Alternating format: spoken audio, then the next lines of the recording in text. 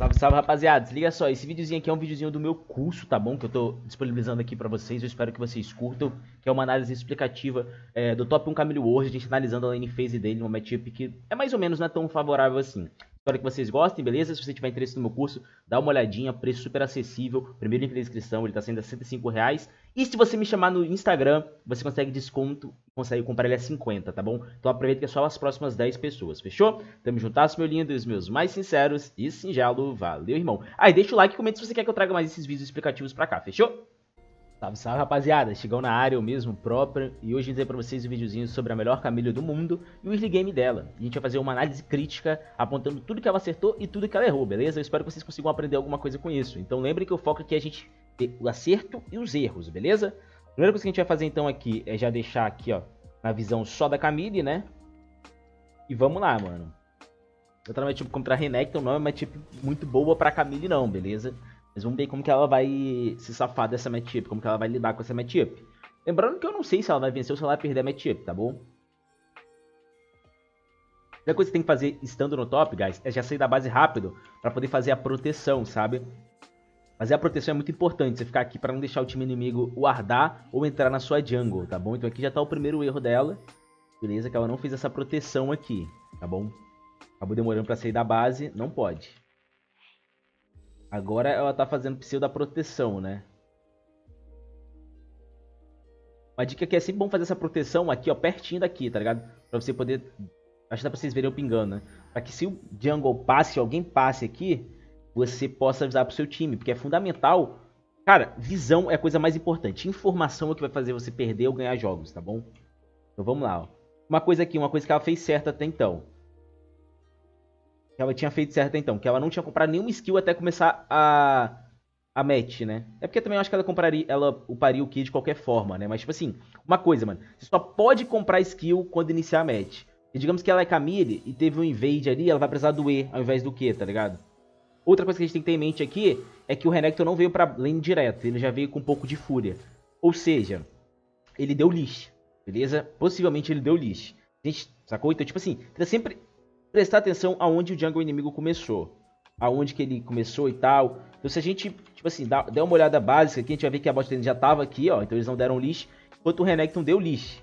E o Renekton ainda veio com fúria. E ele ganha fúria atacando o... Atacando coisas. Atacando minion, tropas, monstros. Então, tipo, ele deu leash, beleza? As runas dele ele veio de Grasp, né? Golpe de escudo, porque comba com a passiva dele. Vamos ver aqui. Nice. Cadê o que? Hit. Ó. Vou voltar aqui. Até aqui a match estava muito boa pra ele, certo? Só que aqui, aqui ele tá sem o que, ó? Ele tá sem o que? Ó, ele tava sem o que e o Renekton tava muito perto de pegar Fúria. Então ele ter agressivado ele no Renekton foi muito ruim o Renekton fez exatamente o que era óbvio que o Renekton ia fazer. Ele tava com 45 de fúria, então ele deu um hit, pegou 50 de fúria e deu o que? Bufado na Camille, tá bom? Então, você tem que conhecer o campeão, o campeão inimigo. Então, tipo assim, não tinha necessidade dele dar um hit no Renekton pra tomar esse Q, esse hit Q, tá ligado? Então, tipo, o que, que, que é melhor ele fazer? Só é, espera, o seu, espera o Q dele voltar, que aí você vai trocar. Beleza? Então, tipo, não foi bom. Não foi bom.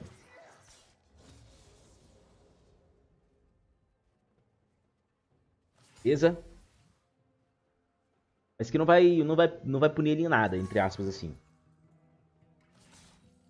Acabou upando o, o E, né, de level 2. Uh, ah, provavelmente o Renga... O Renga pode gankar aí, cara, mas provavelmente o Renga tá fazendo ali pro bot, né? A menos que ele tenha invadido o Blue. Mas aí não, não tem muito sentido. Tá de olho.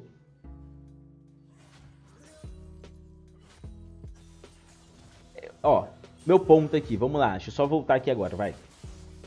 Reparem que ele upou o E level 2, só que ele não usou o E nenhuma vez. Então, tipo assim, teria, nessa minha opinião aqui, teria sido muito melhor ele ter upado o W level 2. E, tipo, ele upou o E com a intenção de agressivar na, no Renekton, só que o Renekton não deu brecha dele agressivar. Então, tipo, não tinha por que ele ter upado o E, o, o E, saca? Ele acabou perdendo pressão ao upar o E, ao invés de upar o W no level 2. Beleza? Olha, deu uma recuadinha, a gente não tem que é o certo a se fazer. Agora que tem que fazer o quê? Só vai catucando no W. Tá? Só vai catucando no W.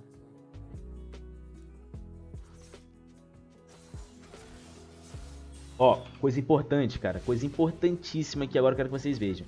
Repara, ó. Desviar das skillshots. Repara, ó. Ó, ele sabe. Se ele chegar perto, o Renekton vai querer dar o que nele. Então, o que, que ele faz? Sabe que ele já recuou? Ele chegou pra matar o Minion e já recuou? Bola dentro, bola dentro. Vendo? Deve usar o W aí, não? Hum, errou o W. Tomar cuidado, cara. Essas skills assim não pode errar, porque isso aí que vai... Oh, desculpa, vai fazer você ter muito dano no inimigo ou não.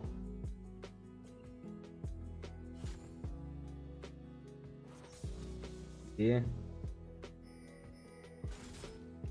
Ó, já tem o W de novo. Ah, repara que ele tá meio que safe, ele tá tentando baitar ali pro Kha'Zix, tá vendo? Repara, ele não, ele não afobou, repara, ele não entregou. Ó, nice. Aconteceu exatamente o que ele tava querendo, tá vendo? Mano, sensacional. De deixa eu voltar isso aqui. Isso aqui é uma coisa que vocês têm que aprender, cara. Aprender a baitar o inimigo, repara, ó. O Kha'Zix já tá aqui pra gankar. Ele já poderia ter. O, o, a Camila já poderia ter agressivado insta no Renekton, beleza? E o Kha'Zix já podia ter vindo gankar um desesperado. Mas não adianta nada, porque o Renekton tem um E pra fugir. E ele só vai tchu, tchu, fugir. Então o que, que a Camille fez? Ela falou assim: olha só, vou fingir de bobo. O que, que aconteceu? Tem uma Big Wave. Tem uma Big Wave, não, tem uma wave boa aqui do, do Renekton, que vai começar a me atacar. Nisso o Renekton vai aproveitar a deixa e vai agressivar em mim. Então ele já vai ter gastado o E. Pra ele fugir do, do, do gank, ele vai ter que flechar. Conseguem pegar a jogada de mestre? Ó. Tá vendo? Era óbvio isso. Era óbvio. Graças a Camille ter fingido de bobo e não ter afobado, já conseguiu tirar o flash do Renekton. E também graças ao Kha'Zix que não afobou também. Beleza? E agora o Renekton sem o, o, o, flash, meu amigo, ele não pode mais ficar agressivando que nem um louco. Ele não pode mais ficar usando E sem parar. Agora detalhe, vamos lá. Você consegue perceber que a Camille ela tá frisando essa wave? O que é frisando essa wave? Basicamente, ela não tá puxando e enfiando a wave debaixo da torre do Renekton. Por quê? Não é vantajoso pra Camille empurrar o Renekton debaixo da torre. Porque o Renekton farma bem debaixo da torre. E a Camille não consegue bater no Renekton debaixo da torre. Então é mais interessante a wave sempre ficar por aqui ou ficar recuado pra Camille. Porque ela tem espaço para poder entrar no Renekton sem ele fugir pra torre. Conseguem perceber isso? E também pelo fato de que o Renekton já está sem flash. Então, quanto mais avançado eu ficar, melhor. E a Wave está puxando, beleza? Ô, Chigão, como saber se a Wave vai puxar para nós ou não vai puxar para nós? Vamos lá, aqui é, aqui é, muito óbvio, cara. Só fazer uma contagem bem básica, ó. Tem um Minion do... Tem uma Catapa e tem três Minions Guerreiros do time da Camille. Enquanto o time do, do Renekton... E olha que o Minion Guerreiro... O, a Catapa... Desculpa, falei errado. Tem uma Catapa e três Magos do time da Camille. Enquanto o Renekton tem uma Catapa, três Minions Guerreiros e quatro Magos. Então é óbvio que a Wave vai puxar pro, pro Renekton, tá ligado? O Renekton vai conseguir puxar essa Wave. É óbvio, é óbvio, é óbvio. É óbvio. Então, a partir disso, ele, ele pode só trabalhar aqui no, só na frisadinha maluquinha, tá ligado? A frisa, eu gosto mais da frisada maluca. Vai só frisando aqui, pou, pou, pou, pou, pou. Que aqui agora você bota o Renekton numa situação complicada. O Renekton tem que, o Renekton tem que puxar essa wave, pra ele poder dar um B, bem, um B bom. Porém, é arriscado pra ele puxar porque ele está sem flash. Beleza.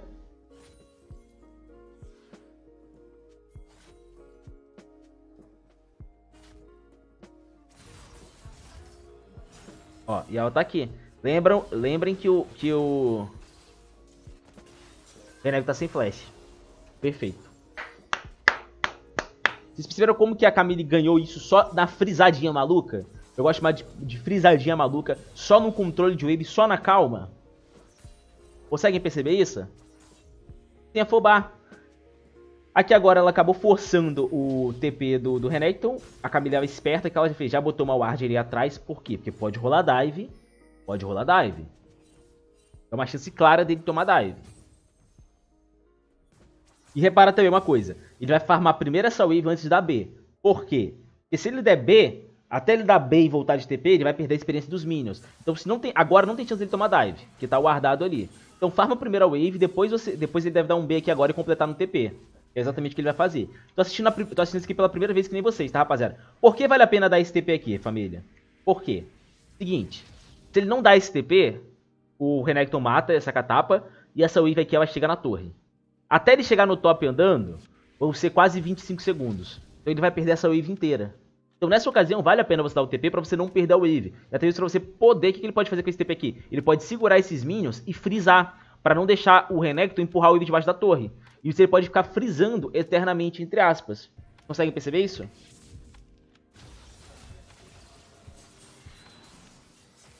Mas o que impediu ele de frisar? O fato do Renekton tá ali, tá bom? Ou do Rengar tá ali. Então por isso que ele não pôde frisar. Também o fato que o Renekton pegou 6, né? No último Minion. Mas foi um bom TP. Tipo, reparem como ele tá jogando na calma, né? Jogando leve, eu gosto de dizer. Beleza? Guys, é, eu falei que eu, eu, prometi, né, entre aspas, pra mim mesmo, que todos, eu só vou fazer a análise até os 6 minutos, porque senão o vídeo fica muito longo e fica um pouco chato pra vocês assistirem. Meu foco é sempre tentar fazer um conteúdo suave, tranquilo, beleza? Então eu espero que vocês tenham curtido. Se vocês curtiram, não esqueçam de se inscrever. Não, não esqueçam de se inscrever, não. Que esse, esse vídeo aqui vai pro meu curso, né, cara? Foi mal, gente. Então eu espero que vocês tenham curtido, tá bom? Vocês tenham gostado. É o costume de fazer tantos vídeos. E fiquem de olho que vai sair os próximos. Fechou? Tamo junto.